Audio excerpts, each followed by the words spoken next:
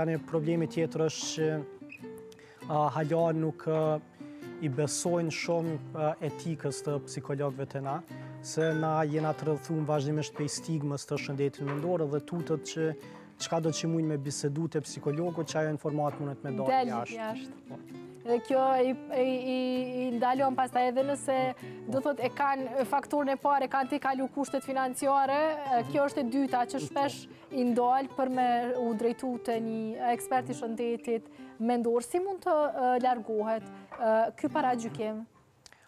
Sa punë duhet të bëhet në vendin tonë dhe sa ndoshta a ka të vërteta prej këtyre paragjykimeve? Punë vyn kogja shumë, se hala jena shumë mrapa dhe kjo nuk është diçka që është veç në Kosovë, po në krejt botën, hala ka shumë stigmë që rrethon shëndetin mendor. Po, hapi ma i mirë që mund me bo është veç nëse ja nisim me qenë ma të hapun për ndjenja tona. Mhm. Qaq ma shumë që ja nisim na me ndëgju njoni-tjetrin pa e paragjyku, qaq ma të lirë kena me konë dhe ma të hapun për me i nda sfidat që jena tu i kalu. Kështu mhm. që kisha thonë veç me ja nisë me u hapë secili person me njoni-tjetrin dhe mos me u paragjyku.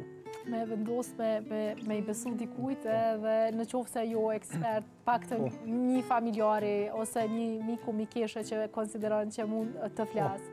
Po, edhe që pyte se qëto paragjykime mhm. që vijnë, a kanë ndonjë bazë në to, fatkeqësisht po, ka mhm. baza se ka edhe psikologë te na që në raste e shkelin mhm. etikën, edhe i ndajnë informatat, edhe kjo diçka që nuk duhet me ndodhë.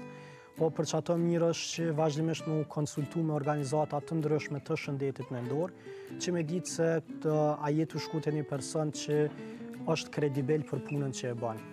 Na si QIPS, për Linjën e Jetës, e kena një listë të referimeve, ku varësisht prej nevojës që kanë thirrësat në linjë të jetës, na i drejtojmë aty, mhm. edhe na vazhdimisht kqyrim me përditësu qatë listë, Për m'u siguru që psikologët ku jena tu i dërgu thirrësat tonë, janë persona kredibile dhe që mujn me kry punën qysh duhet. Kështu që nëse veç ka nevojë dikush, munet me na kontaktu neve në QIPS, po munet edhe me shku për shembull te klinika Unë, është një klinikë që na i besojmë kogja shumë edhe dhere që tash asë njerë nuk e na pas Ndonjë problem prej një personi që ka marrë terapi te klinika Unë. Mhm. Do thotë i keni rekomandimet tuaja. Me çka vazhdon java? Tani që gati gjysma është mbyllë? Po, sot ka vazhdu, domethonë, ekspozita prapë, se është një ekspozitë që zgjatë 4 ditë. Ka pas shfaqje të filmit në Anibar, pak ma herët para se me fillu ky emisioni, ku janë shfaqë dhe filma të animuar për shëndetin mendor dhe ka vazhdu me një diskutim. Ka vazhdu punëtoritë në Prizren prej OJQ-së THY. Edhe sot mas dite ka me pas një diskutim nga Dylberizm për personat queer në Kosovë, për për rëndësin që e ka nëse i ndajmë na përvoja tona dhe që ç'mujnë me përfitu personat queer nëse i ndajnë ato përvoja. Edhe masnej ka me pas edhe një natë poezie që ka m'u zhvillu prej neve si QIPS në Bubble Pub. Ky aktivitet fillon në ora 6.